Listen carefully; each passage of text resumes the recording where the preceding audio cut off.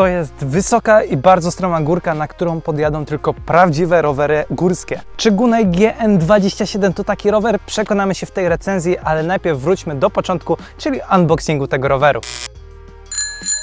Kosztujący 4000 zł elektryczny rower górski przyszedł do mnie standardowo zapakowany w duży karton i owinięty tysiącem pianek. W zestawie dostałem ładowarkę, nóżkę, pedały i jakieś podstawowe narzędzia. Złożenie może nie było mocno skomplikowane, ale jeśli kogoś przerasta przekręcenie przedniego koła, to zanieś lepiej od razu rower w kartonie do serwisu, gdzie złożą profesjonaliści. Jakość komponentów na pierwszy rzut oka wydaje się być nie najgorsza, a parametry roweru całkiem ciekawe, więc wracamy na pole testowe. No i jesteśmy z powrotem przed górką i zaczynamy test. W podjeździe pomogą nam dwa systemy, czyli napęd elektryczny i mechaniczny. W napędzie elektrycznym najważniejszy dla mnie w podjeździe jest silnik, który ma dwa istotne parametry. Moc to 750 W, czyli całkiem nieźle, gdzie Unia Europejska tak naprawdę przyzwala na maksymalną moc 250 W, więc nie wiem jak oni przemycają te rowery do, do właśnie Polski. E, drugi parametr to moment obrotowy 50 Nm i to też powinno pozwolić podjechać pod tą górkę. Większe zastrzeżenia mam do samego napędu mechanicznego, chociaż mamy tutaj przerzutkę Shimano z wolnobiegiem Shimano, czyli jest to jeszcze spoko jakości, to są to tylko siedmiobiegowe komponenty, więc największa zębatka w wolnobiegu w połączeniu z tą całkiem dużą e, zębatką z przodu nie sądzę, żeby pozwoliły podjechać też pod górkę jakbyśmy używali samego napędu mechanicznego.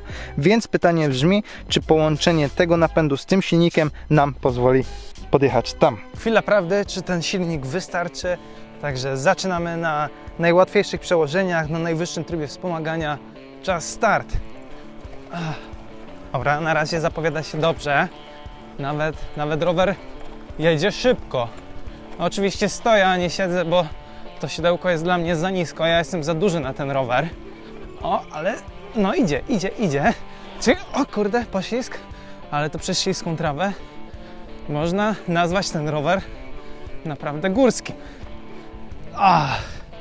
I nawet bez większego problemu, więc... O, Zmachałem się, ale na jakim rowerze bym się nie zmachał. Uuu, dobra. I zjeżdżamy. Te hamulce trochę im nie ufam, bo są mechaniczne, tarczowe, a nie hydrauliczne. No ale tu dają radę. Hamulce też mają funkcję odłączania wspomagania podczas hamowania dla bezpieczeństwa. Ja osobiście wymieniłbym od razu w nich klocki hamulcowe i tarcze na lepszej jakości i wtedy hamowanie powinno być już bardziej satysfakcjonujące i ciche.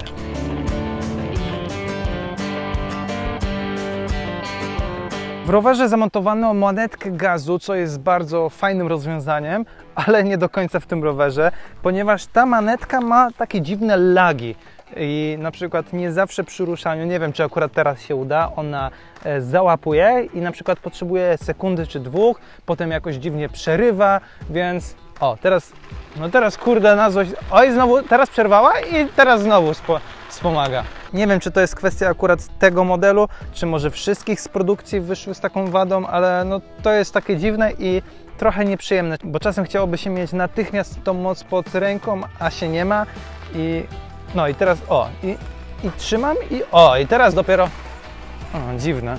Ten napęd elektryczny jest trochę głupkowaty, to muszę przyznać. Są trzy tryby wspomagania. Na pierwszym pojedzie maksymalnie na manetce 15 km na godzinę i na manetce na drugim 20 km na godzinę i na trzecim 25 km na godzinę. A jeśli pedałujecie, a nie używacie manetki, to można osiągnąć prędkość już 40 km na godzinę, a nie 25 a dziwne są właśnie te tryby wspomagania, bo na pierwszym, drugim i trzecim ten rower podczas pedałowania zachowuje się praktycznie tak samo. Jeśli delikatnie pedałujecie, to pojedziecie maksymalnie 25-30 km na godzinę, a jeśli przyciśniecie mocno, no to ten rower od razu zaczyna mocniej przyspieszać, bo ma czujnik nacisku na korby i wtedy może pojechać właśnie nawet te 40 km na godzinę.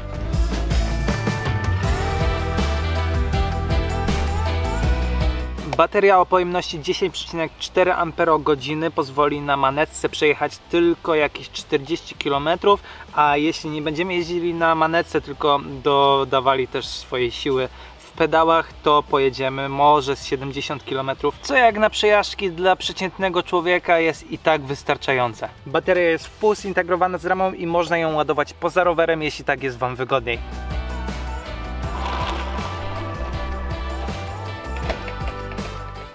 Dobra, a co my tu mamy? Zjazd, o kurde, dwa dropy.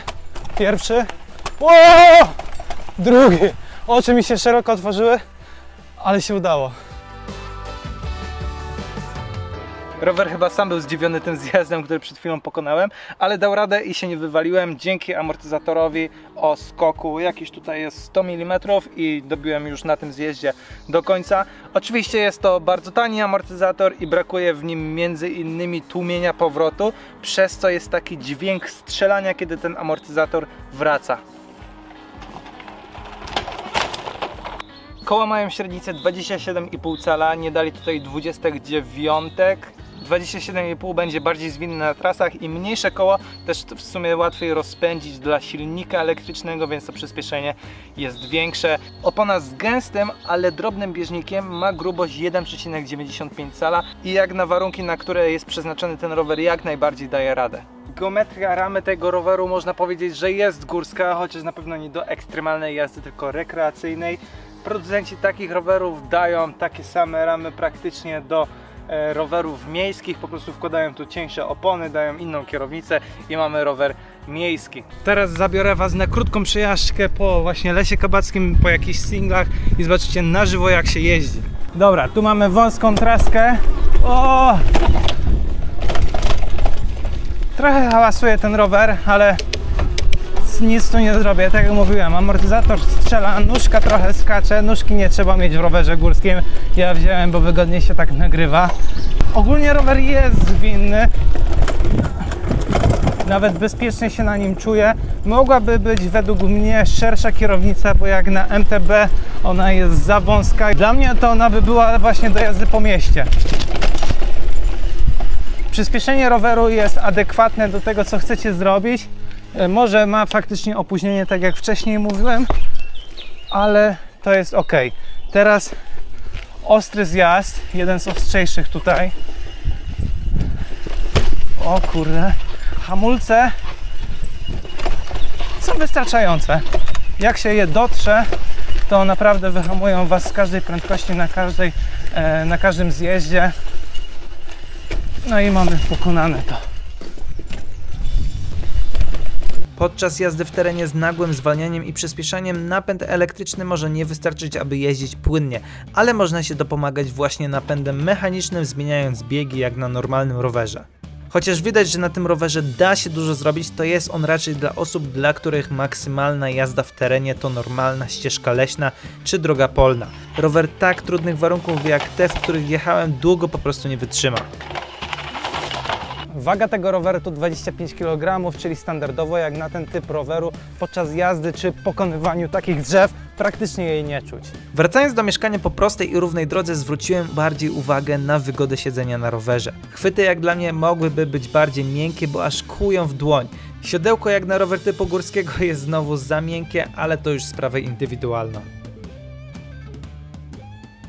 Podsumowując, to jeździło mi się ok, bez jakiejś fantazji, bo jednak jest to rower budżetowy za 4000 zł, elektryczny, więc za 4000 zł to dostanę dopiero dobry, zwykły rower MTB, nie mówiąc o elektrycznym. Największą wadą tego roweru jest według mnie właśnie ten niedopracowany system elektroniczny, w którym właśnie ta manetka nie do końca łapie za każdym razem. Ten czujnik nacisku na korbę też w sumie nie wiem kiedy on wyczuwa ten nacisk, a kiedy nie.